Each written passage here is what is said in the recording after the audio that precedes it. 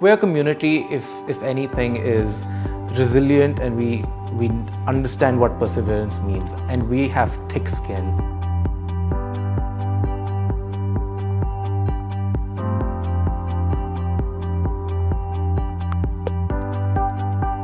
This is a this is a setback. It is hugely disappointing, but it is not the end of us.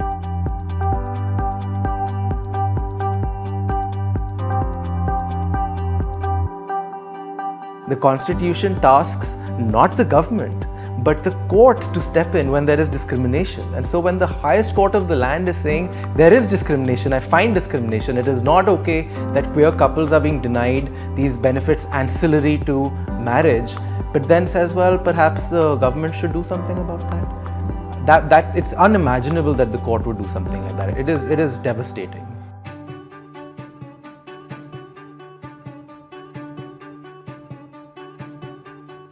My partner, who is American, um, he's my he's my fiance. Um, he's never been to India, and I was so excited to bring him next year. We've been planning that. Um, I wanted him to meet all of my friends, and I wanted us to get married here. That was the ultimate plan.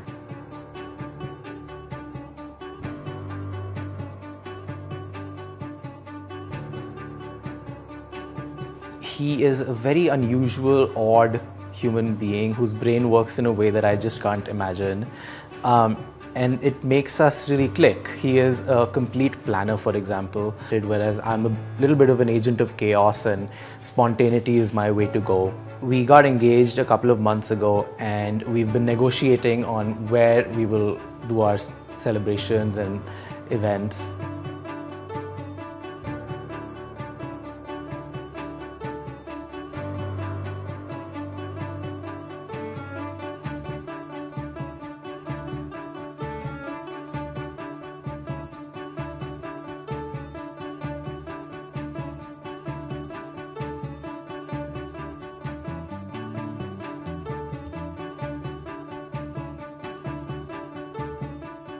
A few months into my education, I started looking around me in Palo Alto and saw that there are people here leading very open lives with their partners, adopting children, living as full citizens. And so, you know, it was like a light bulb going, going off in my head. Without there being this, this broad acceptance of queer relationships in the Indian professional environment, is, is a big detriment to our progress. It is, it is slowing down our progress. Because of discrimination, they aren't able to contribute fully at work.